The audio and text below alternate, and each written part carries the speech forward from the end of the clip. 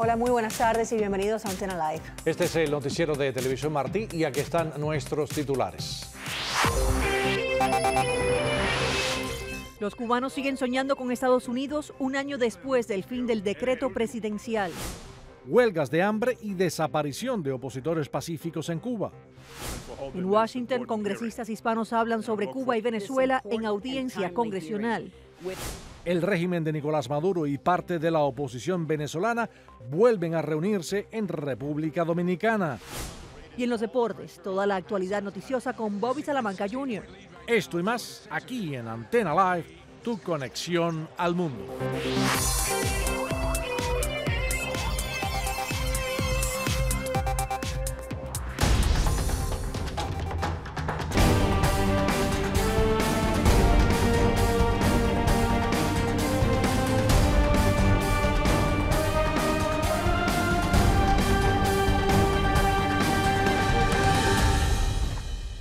Hace un año hoy que el entonces presidente Barack Obama accedió a uno de los reiterados reclamos del régimen de La Habana. Corrían sus últimos días en la Casa Blanca cuando el mandatario eliminó por decreto la normativa conocida como pies secos, pies mojados. Esto fue el 12 de enero del año 2017. Ricardo Quintana recapitula lo que ha sido un año sin este beneficio migratorio y su significado. No llores, compadre, ponte fuerte. Que soy el último, viejo. Eres el último. El último, viejo.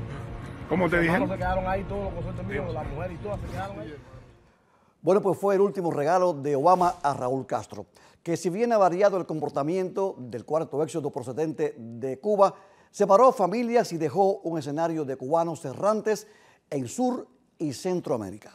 Bueno, hermano, felicidades, llegaste a la libertad. Ya tú tienes fuerte ya. José Antonio Batista fue el último cubano que cruzó la frontera con Texas. Es una ley y a las cuatro terminó. Ese día, a las 4 de la tarde, se escuchó el portazo de Obama al cuarto éxodo de cubanos. Habíamos alrededor de, de 20 y pico que estábamos ahí antes de las 4 de la tarde. Quiere decir que si la ley fue después de las 4, me parece que todo lo que estábamos antes de las 4 teníamos derecho a ser procesados para cruzar. En Miami, Maylin guarda amargos recuerdos. Aunque ella logró entrar el 28 de diciembre, atrás quedaban sus seres queridos. por una llamada telefónica me dijeron por favor enciende el televisor y cuando vi la noticia realmente fue bien devastadora teniendo en cuenta que o sea causó la división de mi familia Su esposo e hijo hacían trámites en Cuba para viajar a México cuando entró en vigor el decreto ley. se suponía que ellos venían aproximadamente 17 18 de enero y nunca fue así porque debido a la ley que un buen día amanecimos con esa nueva pues nos quedamos divididos Así justificó la Casa Blanca la adopción de esta medida. Al dar este paso, estamos tratando a los emigrantes cubanos de la misma manera que tratamos a los emigrantes de otros países. El gobierno cubano ha acordado aceptar el regreso de los cubanos que tienen orden de deportación, al igual que ha aceptado el retorno de los inmigrantes interceptados en el mar. Congresistas de origen cubano hicieron lo que pudieron, pero la medida había llegado para quedarse. para el programa de pies secos, eh, pies mojados, nunca tuvimos mucho apoyo en el Congreso para continuarlo. Así que eso ya se sabía que los días estaban contados. El régimen de Cuba se sale con la suya porque el régimen siempre había pedido que levantaran esa, esa ley. Como consecuencia, la reducción en el ingreso de cubanos por la frontera fue inmediata. Cifras de protección fronteriza daban cuenta que en 2016 entraron por esa vía más de 41 mil cubanos, pero ya en enero de 2017 la cifra de ingreso disminuyó a 1057. En febrero solo entraron 65 y en marzo 21, para una disminución de 64%. estamos peores que el resto del mundo. ¿Por qué? Porque cuando te quitan algo que tú has tenido, tú lo extrañas. El resto del mundo nunca tuvo los beneficios que teníamos nosotros. El pie seco, pie mojado nunca va a regresar. El paro a los, cuba- a los cubanos entrando por frontera va a ser casi cero. ¿Y cuál ha sido el resultado más grande? El número de cubanos entrando ilegal. Por mar, el flujo migratorio de cubanos interceptados, disuadidos a regresar o que arribaron a la costa en 2017 también descendió. Fueron 1.934 casos, de los cuales 1.468 fueron interceptados en el estrecho de Florida, el Caribe o en aguas del Atlántico. Para nosotros era una esperanza. una esperanza de vida, uno va a poder librar de, de esto aquí. Yo no pierdo el sueño, ¿me entiendes? Yo si me pudiera volver a tirar al mar, yo me tiraría miles de veces. Manuel Reyes quedó trabado en Nuevo Laredo. Era aquella ilusión de llegar a, a cualquier frontera de los Estados Unidos y poder eh, llegar a una frontera y entrar, ¿no? Eso fue para mí algo, algo muy fuerte. Se entregó en febrero y estuvo cinco meses retenido en un centro para inmigrantes. A ser opositor no del régimen comunista y ah, se me hizo un, un juicio, ¿no? Fui a mis cortes pertinentes de migración y entonces pues, pues me dieron asilo político. Tienes que demostrar persecución en Cuba antes de que tú entraste o tienes que eh, demostrar futura persecución en Cuba. También el 12 de enero la Casa Blanca anunció, el Departamento de Seguridad Nacional está poniendo fin al programa especial de inmigración para médicos cubanos. El programa médico hemos trabajado con la administración y nuestros colegas para ver qué podemos hacer para renovarlo pero no, no, hemos tenido éxito. Pero muy a pesar de la desaparición de este beneficio excepcional, Estados Unidos no ha dejado de ser el destino soñado de los cubanos. Así ha pasado un año, pero cientos de cubanos aún permanecen en centros de detención de inmigración a la espera de parol o deportación, aunque este último proceso, según entendidos, no está ocurriendo de manera masiva. Es todo, siga ahora en sintonía con Antena Live.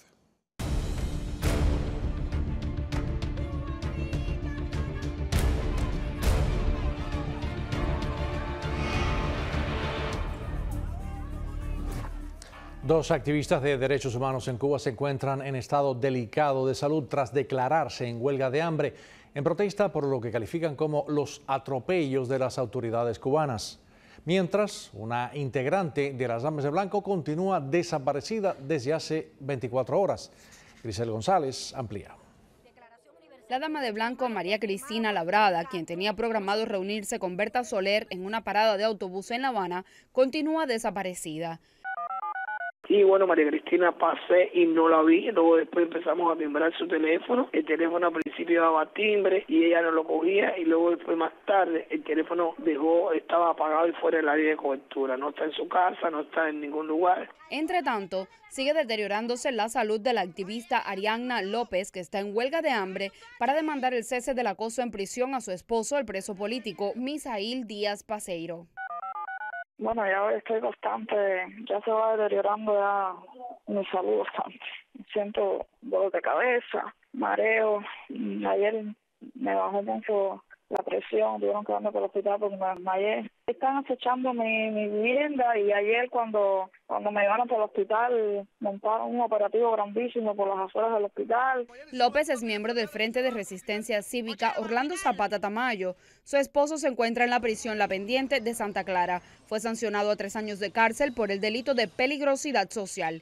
Integrantes del grupo opositor han denunciado que la sanción contra Díaz Paseiro es en represalia por oponerse públicamente y denunciar irregularidades durante asambleas de nominación de candidatos a las elecciones municipales en la isla.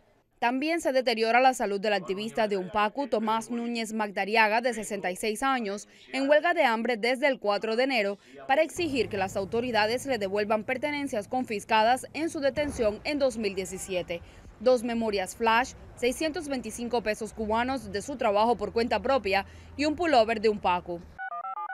Ay, me siento mal, mi hija, ya me siento muy flojo. Porque imagínense, empecé la huelga el día, el jueves 4, ya me siento, ya me siento mal, no me puedo casi ni parar. Grisel González, Martín Noticias. La intervención de la Iglesia Católica y la propagación en las redes sociales de la noticia de su encarcelamiento han logrado que las autoridades castristas pongan en libertad a un rapero cubano. Roxana Romero tiene la información.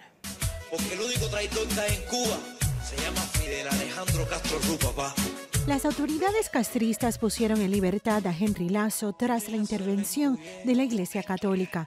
Informes noticiosos indican que la seguridad del Estado arrestó al músico, mejor conocido como el Encuyé, luego de estrenar una canción con letra contestataria titulada Un rey falso que fue dedicada a Fidel Castro y cobró amplia repercusión en Facebook.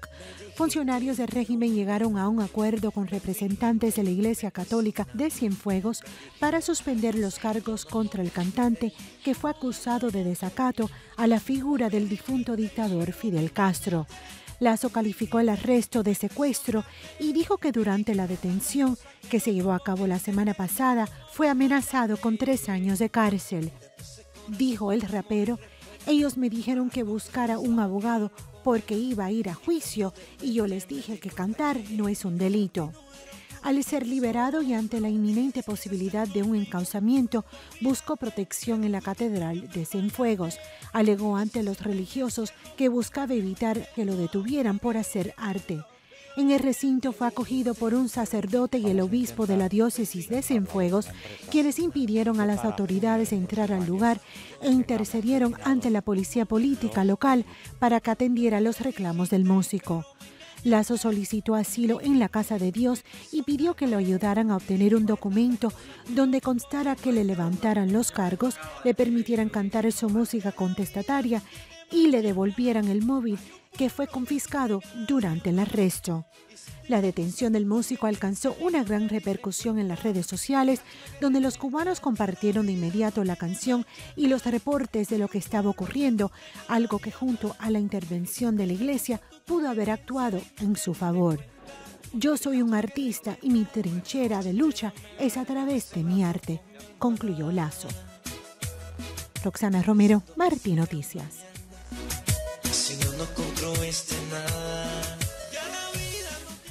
Y el tema de Cuba salió a relucir en el Comité de Asuntos Exteriores de la Cámara de Representantes de Estados Unidos, que llevó a cabo una audiencia este miércoles para analizar la integridad electoral en América Latina. El representante de California, Paul Cook, quien presidió la audiencia, destacó que 12 elecciones tendrán lugar este año en nueve países de la región, entre ellas las presidenciales de Costa Rica, Paraguay, Colombia, México, Brasil y Venezuela. Cuba continúa privando al pueblo cubano de toda forma de comicios libres e imparciales en anticipación a la entrega de poder de Raúl Castro. No importa los desafíos a los que se enfrenten estos países, Estados Unidos y otras naciones democráticas en la región tienen un papel que desempeñar en el apoyo a la democracia y por la habilidad de los ciudadanos de escoger libremente a sus líderes. Durante su intervención en la audiencia, la congresista cubanoamericana Ileana Ross Lettinen destacó que el régimen cubano sigue impidiendo que sea el pueblo quien seleccione a los líderes. El sistema en Cuba es una farsa. El presidente es seleccionado por la Asamblea Nacional y esta es elegida por el régimen, en lo que puede ser descrito como un círculo vicioso. Entre tanto, el congresista cubanoamericano de Nueva Jersey, Albio Cires, lamentó que países en la región como Cuba y Venezuela celebrarán este año elecciones solo de nombre. También dijo que es fundamental que Estados Unidos haga lo que está en sus manos para garantizar que en cada elección la palabra del pueblo sea escuchada. Y una biblioteca independiente acaba de ser inaugurada en Cuba como homenaje a una dama de blanco recientemente fallecida. Cubanet tiene el reportaje. Bueno, yo le doy gracias a Daisy por haber prestado este humilde lugar en su casa para inaugurar una biblioteca a nombre de ella. Inaugurar una biblioteca con el nombre de mi hermana tiene mucho impacto para mi vida. Ella luchó mucho por la red de bibliotecas, por mantener la, comunicación entre toda la sociedad civil cubana. Y a través de la biblioteca eso fue esencial. Entonces ahora una biblioteca que lleve el nombre de ella es grandioso. Tengo muchas dudas también de, su muerte, porque aunque no haya sido una muerte directa, la fueron matando poquito a poco. Eh, yo nunca pensé tener que inaugurarle una biblioteca con el nombre de mi mamá. No, no pensé que nunca iba a tener que hacerle esto en memoria a mi mamá. Bueno, creo que esto era una era un gesto obligatorio, ¿no? Eh, para rendirle homenaje a una, a una dama de blanco, periodista independiente, bloguera, que además eh, luchó denodadamente en contra de la dictadura Castro comunista. Así que yo pienso que que ella se merece que nosotros, sus compañeros de lucha, sus hermanas damas de blanco, eh, le hagamos este honor. Eh, es algo que primeramente que lo merece grandemente por su esfuerzo y su aporte a la libertad de Cuba desde hace mucho tiempo. Mi punto de vista desde Miami, eh, aunque se ve un poco diferente al punto de vista de los que viven aquí dentro, eh, la, coincidencia es la misma. La libertad de Cuba, la misma lucha para terminar con esta dictadura de 60 años y que de una vez en Cuba llegue la democracia. El niño cubano Emanuel Sayas, de 14 años, se encuentra en el quirófano en una operación para eliminar el crecimiento de un tumor de 10 libras. La intervención, que durará aproximadamente unas 12 horas, espera restaurar su rostro y salvarle la vida. En Cuba, donde el régimen castrista presume de un sistema de salud público de primera, ningún especialista se atrevió a atenderlo. Este viernes comenzó una nueva y esperada etapa en la vida del adolescente cubano Emanuel Sayas, quien durante más de dos años ha vivido una odisea provocada por un gigantesco y pesado tumor que le ha cubierto toda la cara. Desde horas tempranas, un equipo médico especializado del sistema de salud de la Universidad de Miami y liderado por el doctor Robert Marks comenzó lo que se espera sea la primera de entre cuatro y cinco cirugías necesarias para extirpar completamente el tumor benigno, que por su peso de 10 libras le ha impedido a Emanuel caminar al no poder mantener en equilibrio su cabeza.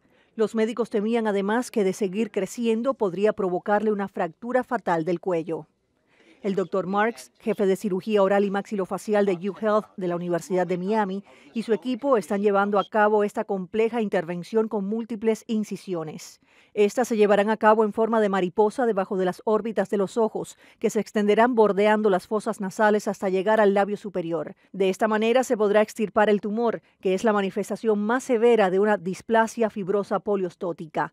Luego se realizará un proceso de reconstrucción en la que se operará la nariz de Emanuel y posteriormente se llevará a cabo la reconstrucción del rostro.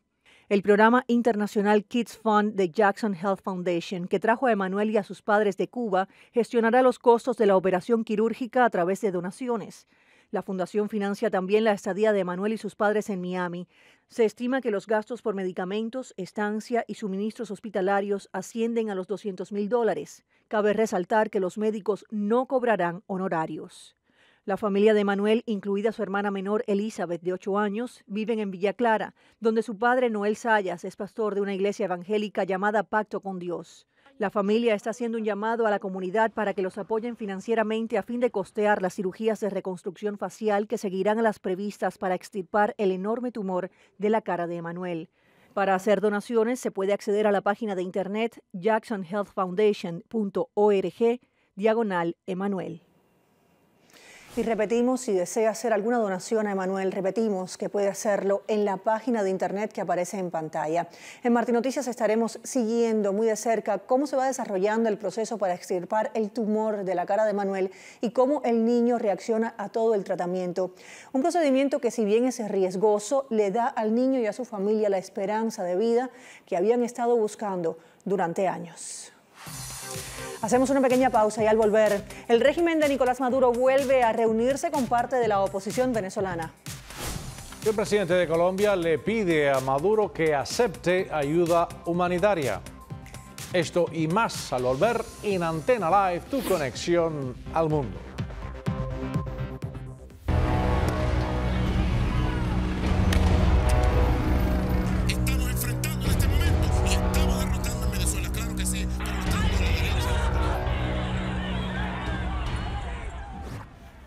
Mientras el régimen de Nicolás Maduro y parte de la oposición vuelven a reunirse en República Dominicana, el pueblo venezolano vive un gran drama social que se agudiza y obliga a muchos a perder su vida lanzándose en balsas al mar, intentando buscar mejores oportunidades fuera del país. Alejandro Marcano informa. Este es el nuevo drama de los venezolanos, cinco jóvenes muertos y 20 desaparecidos al hundirse el barco en el que intentaban llegar a la isla de Curazao en busca de comida. TV Martí tuvo acceso a grabaciones de sobrevivientes, los llamados balseros venezolanos, un drama similar al de miles de cubanos. Íbamos llegando aquí Curazao, marico, y la lancha no joda, marico, el maldito capitán ese no, no supo entrar bien, entonces agarran un motor y la, le, entró una bola a la lancha y se hundió, marico. Todo el mundo tuvo que nadar, estábamos muy lejos, marico, a la orilla. Nadar y nadar, marico. El gobierno de Maduro que dictó el cierre de la frontera con la isla no se ha referido aún al incidente. Además, en las últimas horas se registraron 59 detenidos por saqueos en los que participan hasta militares. Buenas tardes, mi general. Mire, mi general. Este, bueno, somos los guardias aquí de Resur Fuerza Civil. Este, bueno, mi general, uno, nosotros lo que necesitamos definitivamente es un apoyo de ustedes, pues que queremos hablar con él, con Vladimir, pues, con, con, mi general Vladimir Parino López. Bueno, mi general, que definitivamente estamos pasando hambre, pues, porque el sueldo de nosotros se nos va en una ida y venida de nuestra casa. En Ciudad Bolívar, algunos vecinos captaron imágenes de otros militares y funcionarios chavistas saqueando un camión de papel higiénico. El camión está perdiendo el papel higiénico es la policía del Estado Bolívar con la Guardia Nacional lo que están saqueando. Miren, vean. Miren, vean. Patrulla 090 de la Policía Municipal y la 6C. C6. Ahí están. Cuatro muertos y 15 heridos es el saldo que reportan las redes sociales tras los disturbios en la ciudad de Mérida, una ciudad ganadera donde los pobladores asaltan las cisternas que transportan la leche y en las fincas cazan y matan rudimentariamente el ganado y se lo reparten para saciar la escasez y el hambre. Finca del gobierno, finca del gobierno, aquí está. Están cazando, tienen hambre la gente, no jodas. Tienen hambre la gente, todos, todos tenemos hambre, aquí está. Entre tanto, Nicolás Maduro ofrece garantías para elecciones presidenciales de Venezuela. Espera un acuerdo primario entre los delegados del gobierno y la oposición que dialogan en República Dominicana. Alejandro Marcano, Martín Noticias.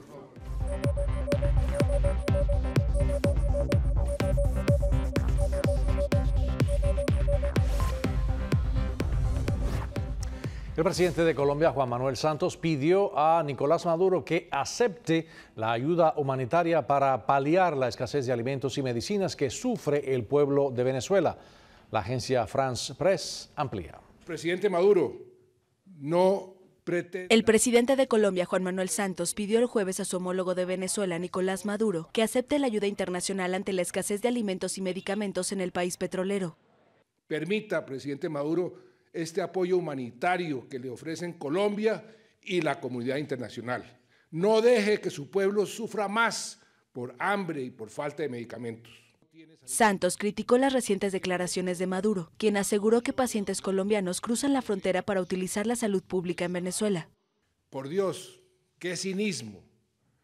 Todo el mundo, todo el mundo sabe que es todo lo contrario.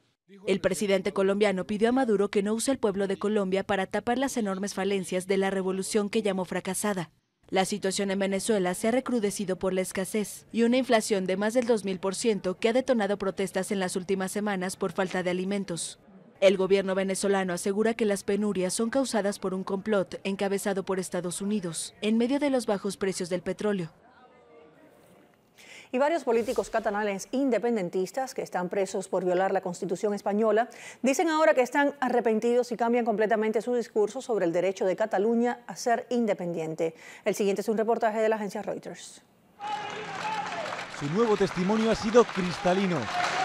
Todos, el exconsejero Forn y los Jordis, renuncian explícitamente a la unilateralidad Además, tanto Joaquín Forn como Jordi Sánchez han asegurado ante el Tribunal Supremo que dejarán su escaño si se sigue apostando por esa vía, la unilateral. El cambio de discurso es total. Creemos que hoy hay que eh, proceder a la declaración de independencia. Pero la transformación más contundente ha sido la de Jordi Cuixart.